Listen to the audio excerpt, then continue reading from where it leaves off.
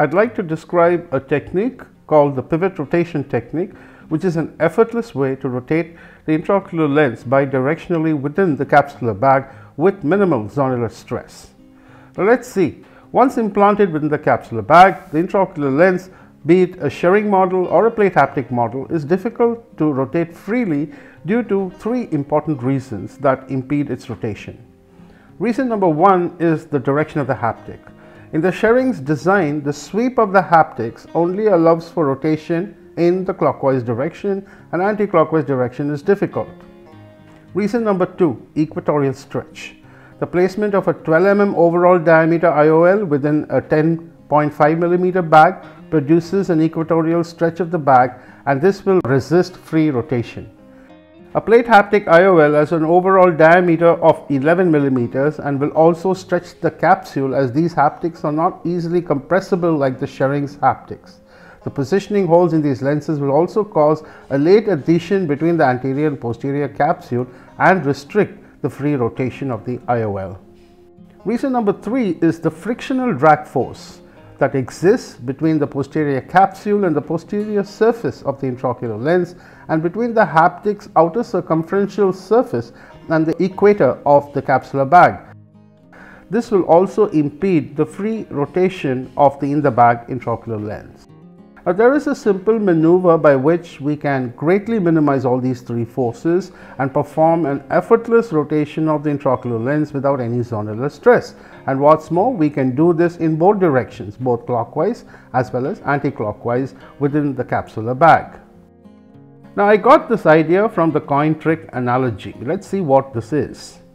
Now, when you try to spin a coin with the coin lying flat on a surface, then it will be difficult to do so because of the frictional drag in the surface contact area. However, if you stood this coin on its side, by reducing the surface contact area as well as the frictional drag, you can make this coin rotate freely in both directions with a simple tap on one of its surfaces. Tilting the IOL within the capsular bag will reduce the equatorial stretch, reduce frictional drag between the posterior capsule and the IOL optic, Open up the anterior posterior diameter of the capsular bag and the IOL can be rotated in both directions with just a slight tap on the anterior surface of the intraocular lens. I call this technique the pivot rotation technique or the tilt and turn technique. Now let's see how this technique actually works in a clinical scenario. Now this patient had a oculocutaneous albinism and this case was chosen in order to demonstrate the pivot rotation technique more clearly to you. The intraocular lens in this case is a hydrophilic acrylic lens that is implanted into the capsular bag.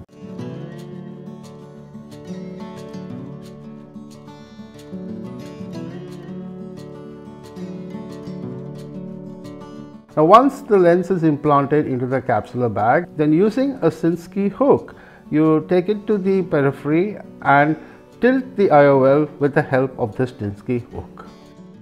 Once the IOL is tilted, the coaxial IA probe is passed beneath the optic. In case you are using a bimanual IA, you pass the irrigation cannula of the bimanual system under the optic. Now this point will act as a fulcrum against which the pivot rotation can be effected. Now gently tapping the anterior surface of the intraocular lens will make it rotate freely in both directions. This is because of the absence of the frictional drag as well as the reduction of the equatorial stretch. The absence of stretch lines on the posterior capsule and as well as the rhexis indicates that there is no zonular stress at all and you can see how freely the lens can be rotated in both directions both in the clockwise and the anti-clockwise direction and how freely this can be done.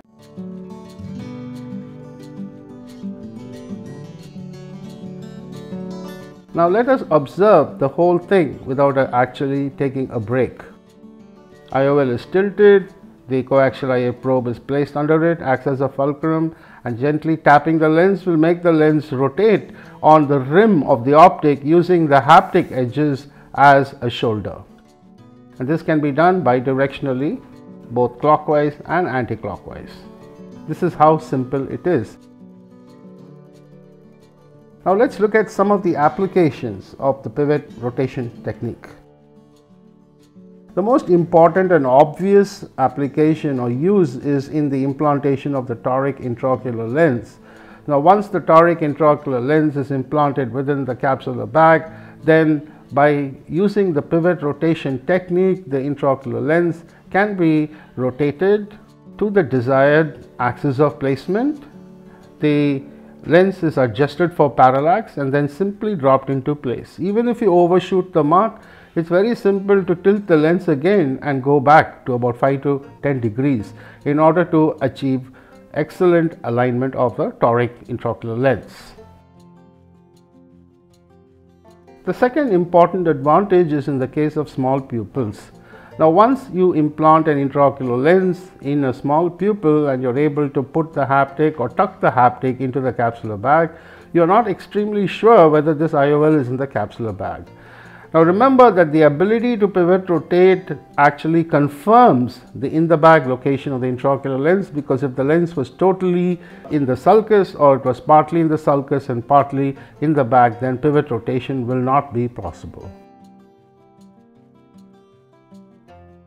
Pivot rotation is possible not only in Shearing design of intraocular lens, this is a plate haptic design of the bunny lens and you can see that even in these lenses it's very easy to perform the pivot rotation technique. This is a plate haptic design lens and you can see how easy it is to perform the pivot rotation. However, in the very thin Zeiss multifocal lenses, this procedure is a little difficult because the haptics tend to pop out of the capsular bag.